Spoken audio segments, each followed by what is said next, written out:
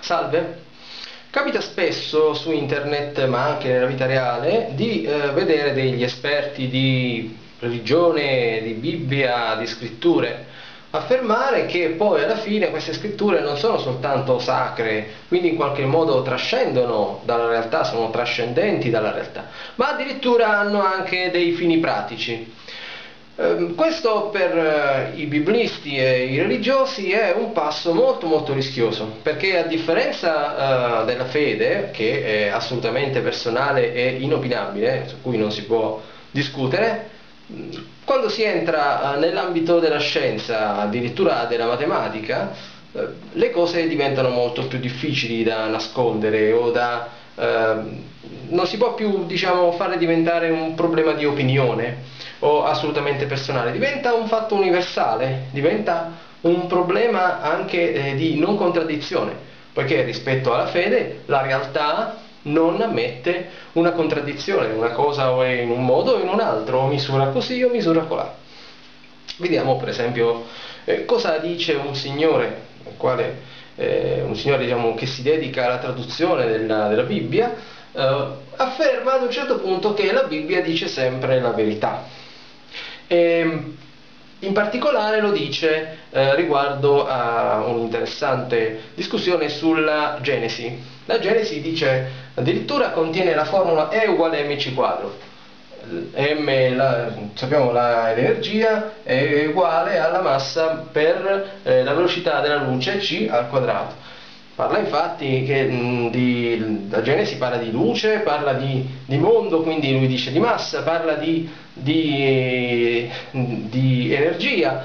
Eh, quindi facendo questo parallelo dice la Bibbia dice sempre la verità, tanto è vero che tra le affermazioni eh, che fa la Bibbia c'è anche la famosa formula usata ed abusata direi di Einstein, E uguale mc quadro. Eh, dicevo, eh, quando la fede entra nel campo scientifico, eh, la fede stessa spesso si mette nei guai. Vediamo perché. L'affermazione la Bibbia dice sempre la verità si traduce in logica, ma nel ragionamento anche comune, in questo modo. Mettiamo che B sia l'insieme di tutte le cose che possono essere dette nella Bibbia, tutte le proposizioni della Bibbia. Se X è una proposizione della Bibbia, allora X è vera. Quindi se X è un'affermazione che si trova all'interno della Bibbia, quindi X è vero perché dice sempre la verità. Noi sappiamo cos'è la dimostrazione per assurdo. Noi sappiamo che quando noi diciamo che da implica B, possiamo anche dire che non B implica non A. Per esempio, se A dice io sono umano e B dice eh, io sono mortale, allora A implica B significa io sono umano, quindi io sono mortale. Per dimostrarlo, o dimostro questo, dimostro il suo opposto che è esattamente equivalente, cioè non sono mortale, quindi non sono umano. Allora, vediamo come si può scrivere non B implica non A. Questo è A, questo è B, non B è non X, implica non A, cioè non, mettiamo una parentesi, x incluso in b. eh, non abbiamo fatto niente di straordinario, abbiamo soltanto formalizzato questa frase e abbiamo detto che cosa significa. Cioè se a un certo punto x diventasse falsa, allora x non potrebbe essere incluso nella Bibbia, non x incluso nella Bibbia. Uh, il problema è che nella fisica eh, qualsiasi modello, come ad esempio questo della relatività distretta, viene superato. Ad esempio il modello uh, di Einstein supera il modello della meccanica classica. Uh, I modelli successivi ad Einstein probabilmente mh, mm, supereranno il modello di Einstein. Superare in fisica eh, significa che ci sono degli ambiti in cui questo non è vero.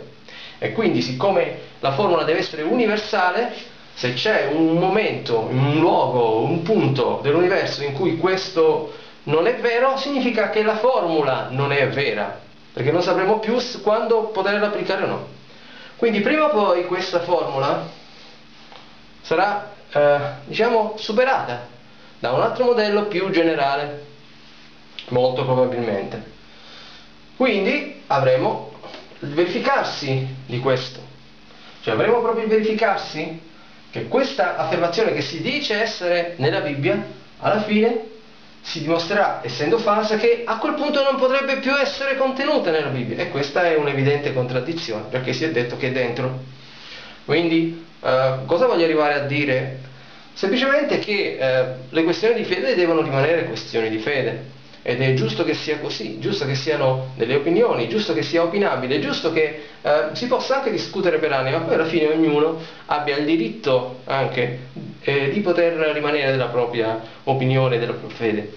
Uh, il problema è quando la fede e quando uh, le scritture, la sacralità uh, entra nel campo del pratico. Già ho fatto un video su per esempio le apparizioni mariane che stranamente non hanno poi nessun effetto misurabile sulla realtà. Ecco, quando si parla di fenomeno, quando si parla di modelli fisici, si entra in un campo in cui la fede e l'interpretazione non ha più una diciamo, grande possibilità di sfuggire da un problema di contraddizione. E quindi è importante che eh, quando eh, si parla di ambito di religioso, di fede o di convinzione assolutamente personali, eh, si capisca che spesso è molto molto eh, rischioso entrare in un campo che è quello invece della fisica, della matematica e della logica. Grazie.